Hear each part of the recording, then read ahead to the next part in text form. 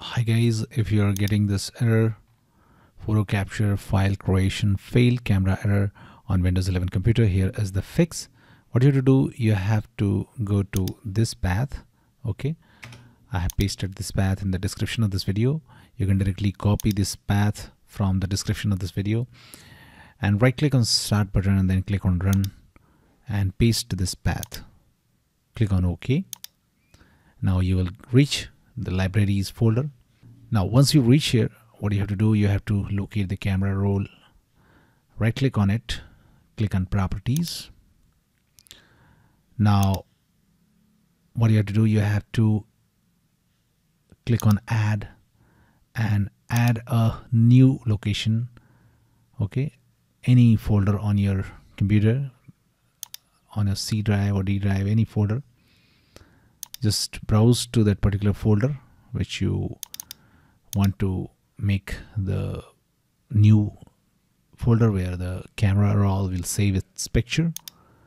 Now once you have created a new folder make sure the green tick is there on the new folder.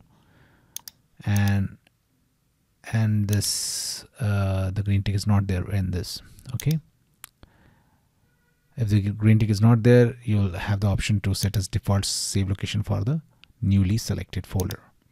Now once you have done that click on apply and click on ok and now try again and problem will be fixed. If this does not get fixed let's move to second method. Click on start button and then click on settings. Now click on system from the left menu and the right side.